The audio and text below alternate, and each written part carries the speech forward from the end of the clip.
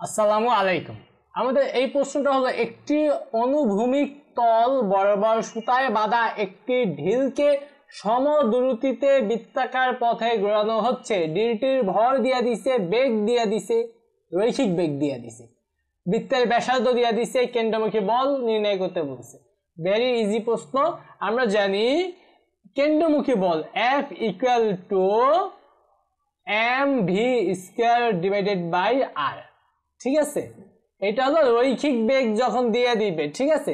আর যদি কৌণিক বেগ দিয়ে দেয়, তখন F equal to M omega square R ঠিক আছে?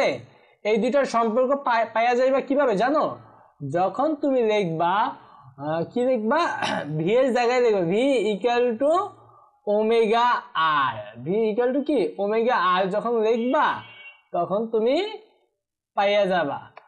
এর জায়গায় ওমেগা আর লিখা দাও, দেখবা এই সূত্র মানে এটা কনভার্ট পেয়ে যাইব। তো ভি টু ওমেগা আর লিখলে মোটামুটি এই দুইটা সূত্রের সম্পর্ক বুঝতে পারবা। তো আমরা জানি ভি টু ওমেগা আর তো আমরা তো কৌণিক বেগ সম্পর্কে পড়ছি। তো এখন আমরা যেহেতু এখানে রৈখিক বেগ দিয়ে দিছে, অবশ্যই আমরা কি এই সূত্রটা অ্যাপ্লাই করব? তবে আমাদের এই দুইটা সূত্রই মাথায় থাকতে হবে।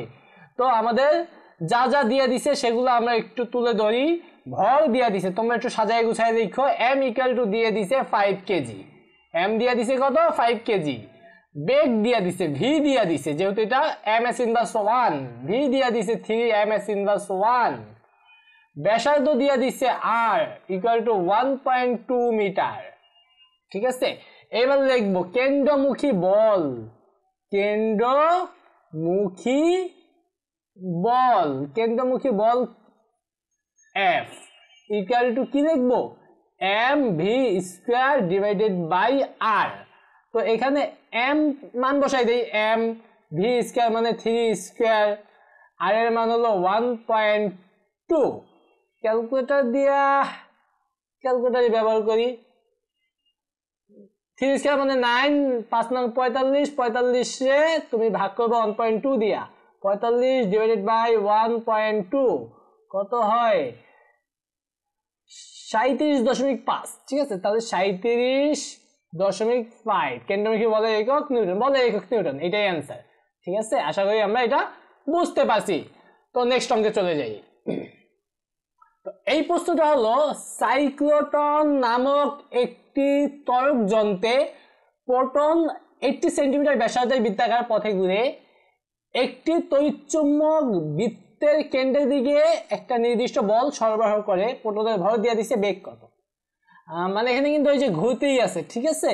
তো আমাদের বেগ নির্ণয় করতে বলছে, আমরা এই সেম অঙ্কটাই আগের মতো লিখব। আমরা জানি আমরা জানি, কেন্দ্রমুখী বলের সূত্রটা দিয়ে করব, ঠিক আছে? আমরা জানি F equal to M V square divided by R ঠিক আছে?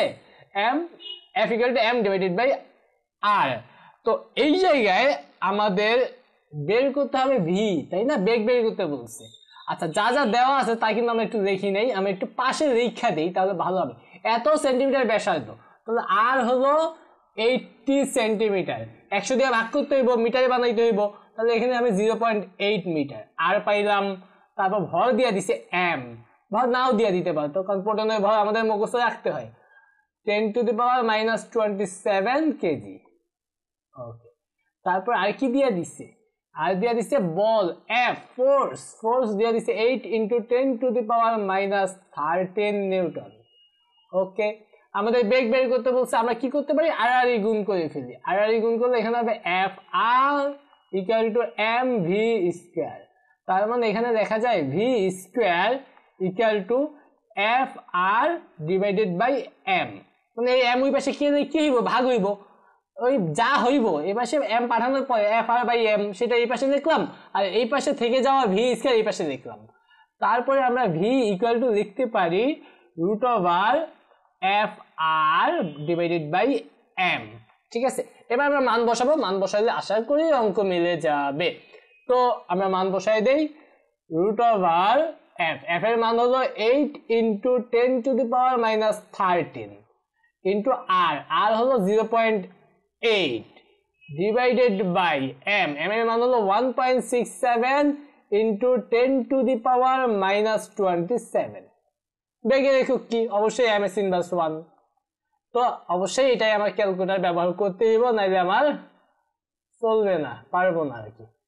তো রুট দিলাম, ভগ্নাংশ দিলাম, উপরে হবে eight into ten to the power thirteen into ten to the power জন্য এইটা চাপ দেই into ten to the power কত? মাইনাস থার্টিন ঠিক আছে?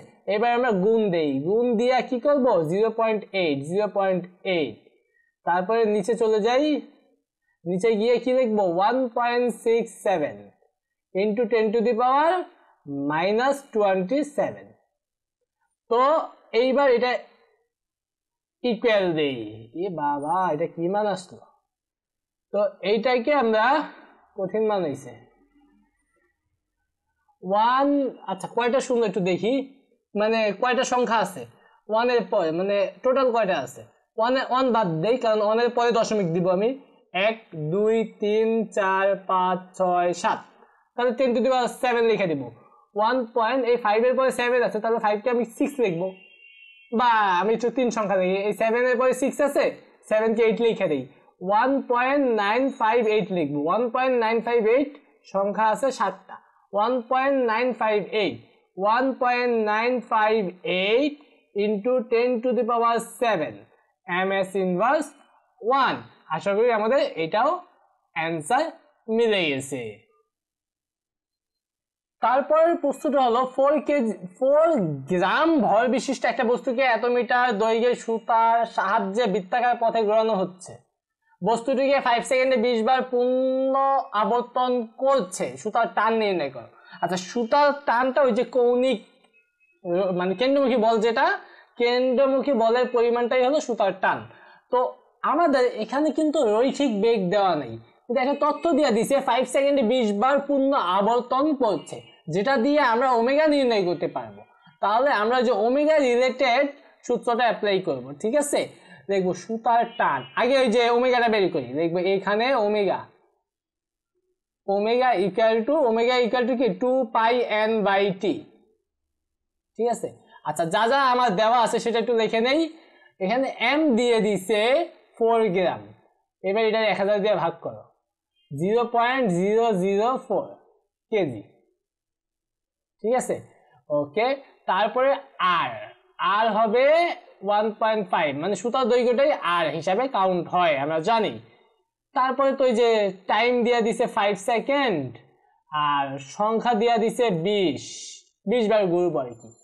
পাঁচ সেকেন্ডে এইবার আমরা সূত্র অ্যাপ্লাই করা শুরু করি, দেই টু পায়ের জায়গায় অবশ্যই দেখব থ্রি পয়েন্ট ওয়ান ফোর নাহলে বইয়ের সাথে অ্যান্সার মিলে না। এখানে এন কতবার ঘুরে? বিশ বার ঘুরে। কয় সেকেন্ডে পাঁচ সেকেন্ডে এইবার আমরা এটাকে ক্যালকুলেটর করতে পারি ক্যালকুলেটর করার প্রয়োজন নেই। না, লাগবে লাগবে। ক্যালকুলেটর ব্যবহার করি। এটা দেই, কঠিন জিনিস। তো এখানে হবে উপরে চার চার দোকানে আট। আট গুণ three point one four three point one four পঁচিশ দশমিক টুয়েলভ পঁচিশ দশমিক টুয়েলভ রেডিয়ান পার সেকেন্ড কৌণিক বেগের একক কি? রেডিয়ান পার সেকেন্ড ওমেগা বের করছি এবার সুতার টান বের করে ফেলব। দেখব সুতার টান সুতার টান সুতার টান। কেন্দ্রমুখী বলটাই কি? সুতার টান। F equal to M omega square R ঠিক আছে? এম এর মান কত? খুবই ছোট মান, কিন্তু ওমেগার মান হলো পঁচিশ দশমিক বারো স্কোয়ার আর এর মান কত দিয়ে দিছে? ওয়ান পয়েন্ট ফাইভ ঠিক আছে? একটু নিচে যাই। ক্যালকুলেটার ব্যবহার করতে হইব। পয়েন্ট জিরো জিরো ফোর গুণ পঁচিশ দশমিক বারো স্কোয়ার গুণ one point five one point five কত হয়? Three point seven eight six আমরা একদম লিখে দিই three point seven eight six কি বের করছি? সুতার মানে নিউটন।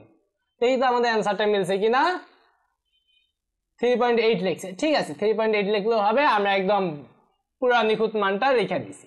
তো আশা করি তোমরা এই অঙ্কটাও বুঝতে পারছ।